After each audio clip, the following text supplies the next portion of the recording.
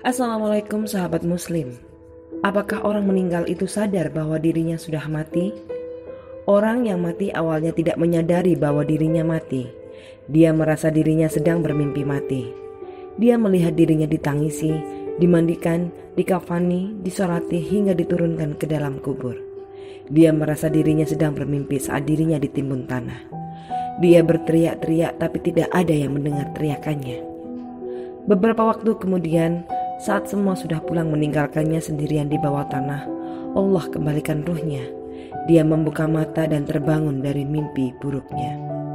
Dia senang dan bersyukur bahwa ternyata apa yang dia alami hanyalah sebuah mimpi buruk, dan kini dia sudah bangun dari tidurnya.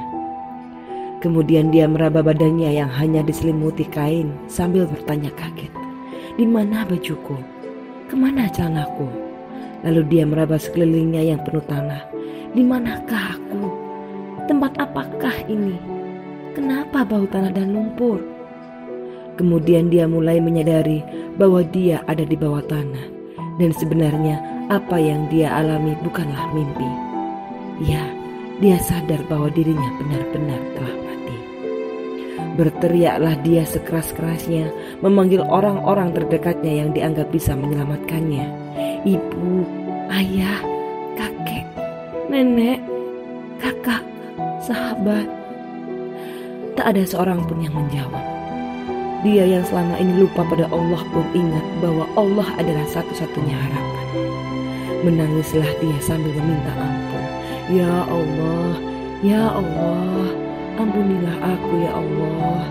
Dia berteriak dalam ketakutan yang luar biasa yang belum pernah dia rasakan sebelumnya.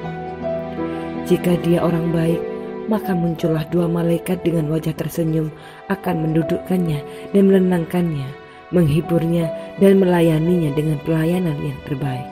Namun jika dia orang buruk, maka dua malaikat akan menambah ketakutannya dan akan menyiksanya sesuai keburukannya.